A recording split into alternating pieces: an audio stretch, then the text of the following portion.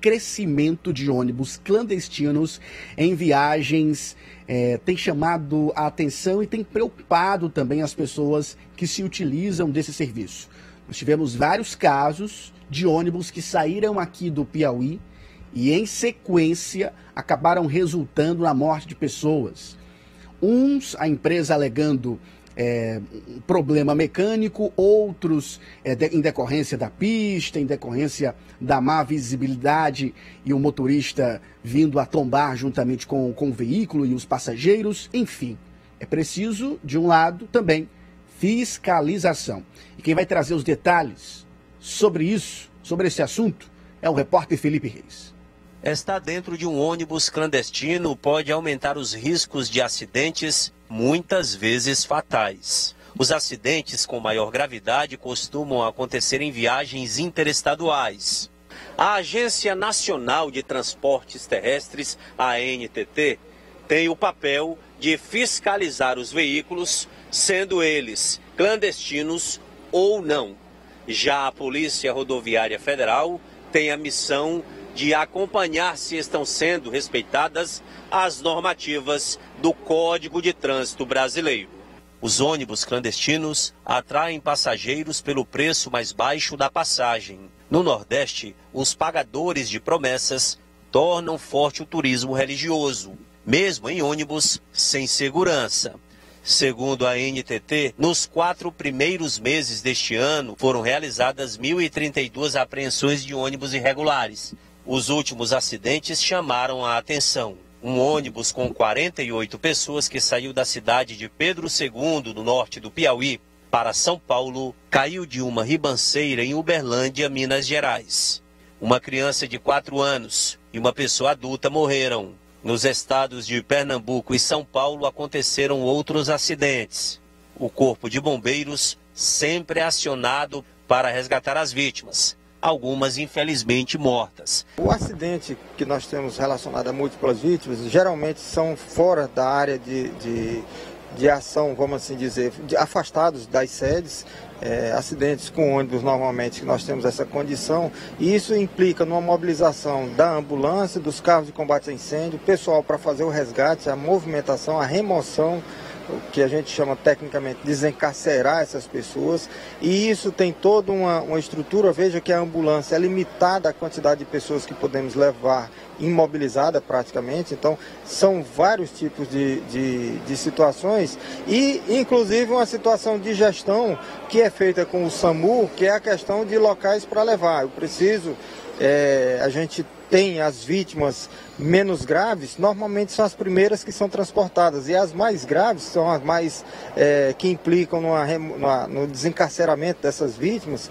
É, elas vão chegar nos hospitais depois, ou seja, o médico, os profissionais do hospital já vão estar ocupados com as primeiras vítimas que chegaram. Enfim, há toda uma questão de gestão, de atendimento, de dar resposta. Em 2021, foram 2.491 veículos apreendidos. No ano passado, 3.467. A Polícia Rodoviária Federal está com equipes em vários pontos nas rodovias. O patrulhamento é diário. Para a Polícia Rodoviária Federal, vale ressaltar que a PRF, como ela não fiscaliza o serviço, ela não tem como identificar se aquele veículo é ou não clandestino.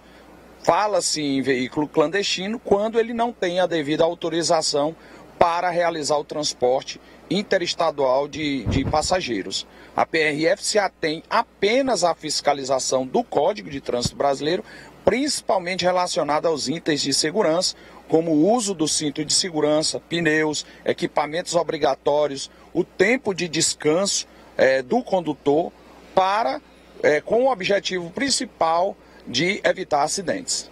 Os passageiros precisam estar atentos. É necessário checar sobre a regularidade do veículo. A lei garante isso. As consequências dos acidentes podem ser irreversíveis. Segundo a legislação de trânsito, os passageiros não são obrigados a saber se os veículos são clandestinos, mas é possível obter informações. Esta advogada falou sobre os direitos dos passageiros e a obrigação das empresas ao prestarem serviços com o aval da NTT. Quando você for fazer uma viagem, você pode acessar o site da NTT, que é a agência reguladora, certo? Você pode ir lá ver se a empresa ela tem um cadastro ativo. É, você pode ligar também para ter informações, pode ligar no 166, funciona 24 horas. E a questão, por exemplo, das formalidades, eu costumo dizer de quê? Pedir a documentação, saber qual é a, a, poltrona que você vai sentar, não aquela coisa rápida que você chega e só não sua identificação, senta em, em qual cadeira estiver desocupada. Não.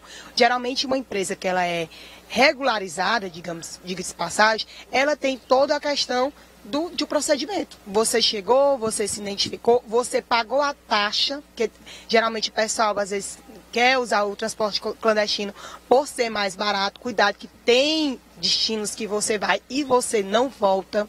Então, às vezes você paga uma taxa um pouco mais cara, mas pelo menos você tem a segurança que você está sendo transportado em uma empresa que é fiscalizada pela NTT. Em relação aos direitos, é, doutor, e se Deus o livre, um parente meu, um ente meu sofreu um acidente, um acidente fatal ou só lesões, o que, é que você pode acionar? No caso da empresa clandestina, você vai acionar o Poder Judiciário, mas fique sabendo desde logo nem sempre eles vão ter aquela questão de dar assistência. Isso. Assistência no medicamento, assistência no tratamento. E se Deus livre chegar a óbito, você não vai ter a questão do seguro. Porque empresas que não são regularizadas, não estão cumprindo as normas da ANTT, elas não têm um seguro próprio. Então você vai poder fazer o quê? O uso do seguro DPVAT, mas o seguro próprio que a empresa tem, que é o que garante essa assistência, você infelizmente não vai ter. Eu vou ser bem sincero. Nunca vi fiscalização da Agência Nacional de Transporte Terrestre aqui em Teresina, no Piauí, Fiscalização, eu estou falando.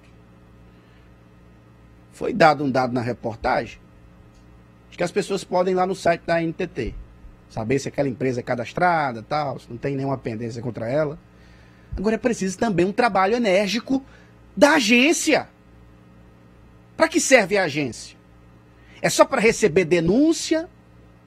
É só para constatar um problema a partir da ocorrência registrada?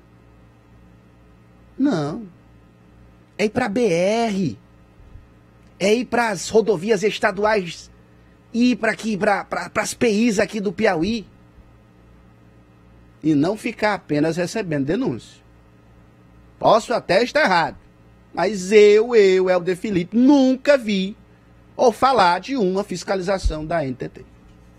8 horas e 18 minutos, você segue acompanhando Notícias da Boa na apresentação de Elder Felipe. E tem participação aqui do nosso ouvinte Ubiratã, mandou mensagem, bom dia, aqui é o senhor Ubiratã do Conjunto São Sebastião, Zona Leste, Zona Sudeste de Teresina. Elder, veja como está a situação desse muro e do portão do cemitério São Sebastião, pois o mesmo há anos está nesta situação e nada é feito pelo poder público pois o pessoal da SAD Sudeste 1 já estiveram aqui olhando e não fazem nada. O risco tá grande de qualquer hora cair. Meus amigos, espelha comigo, meu amigo Alisson. Olha a situação que tá esse muro, gente. Olha só, muro realmente quase caindo. Tá faltando mais uma chuva aí para cair. E é justamente aquele muro que faz a ligação com o portão. O portão também todo enferrujado. E outra coisa, nós estamos. Hoje é dia 10 de outubro. Estamos aí a menos de um mês para o dia de finados. Atenção, SAAD 1. SAAD 1. SAAD Sudeste 1. Não é isso? Vou procurar um posicionamento para ver se a gente traz amanhã aqui no Notícias da Boa acerca dessa situação. Vai ficar assim, mais um dia de finados que as pessoas vão ter que correr o risco ao abrir o portão de um muro cair. Se isso cai em cima de uma criança, e aí? SAD vai se responsabilizar quanto a isso? É preciso responsabilidade. Se já estiveram lá, não fizeram nada, meus amigos, pelo amor de Deus. 8 horas e 10 minutos, você segue com a gente. Mande sua mensagem. 2107 3003, 2107 3003 e você já está conosco, porque vai começar, vai começar, vai começar agora o Esporte da Boa. Já estendo os meus cumprimentos a melhor comentarista